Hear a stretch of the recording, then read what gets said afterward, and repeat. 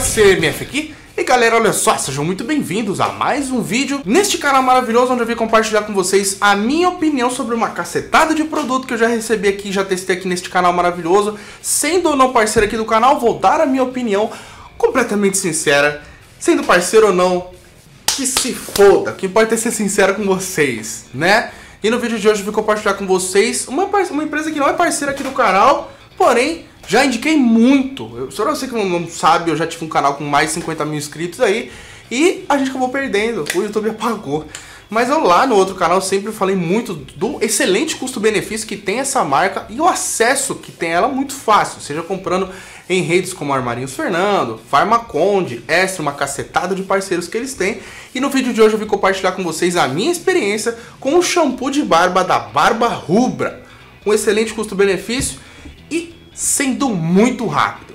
É um produto que para você que está começando a cuidar melhor da sua barba, seja fazendo um tratamento de crescimento, ou também para você que já tem uma barba legal e quer investir em produtos e nunca usou nada, para que não quer gastar muito, sendo bem sincero, quer conhecer esse mundo de cuidado de barba, de pele como um todo, mas não quer sair dando tipo 70 pau no shampoo, tá ligado? Vamos dar uma pesquisada rápida aqui quanto que está este produtinho aqui, a bagatela de 20 reais. Essa aqui é até embalagem antiga, mano, mas já tem uma embalagem nova, de bisnaga e tudo mais.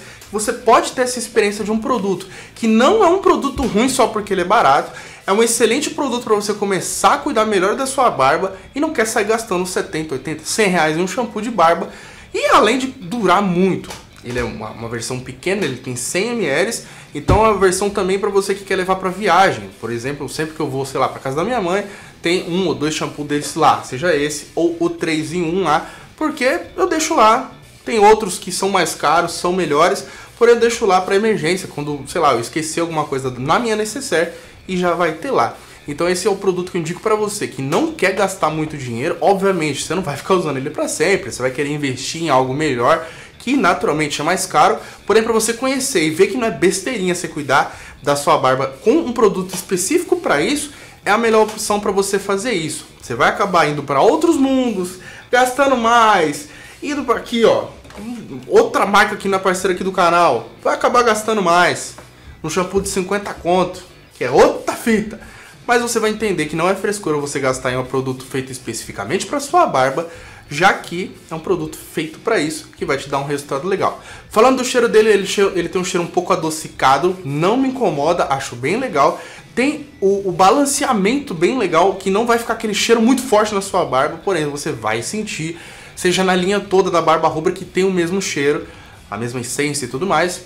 Falando especificamente desse shampoo, se você só usar ele, você não vai ficar com o cheiro, aquele cheiro chato, tá ligado? Porque eu sou uma pessoa que não gosta muito de cheiros é, mais doces em mim.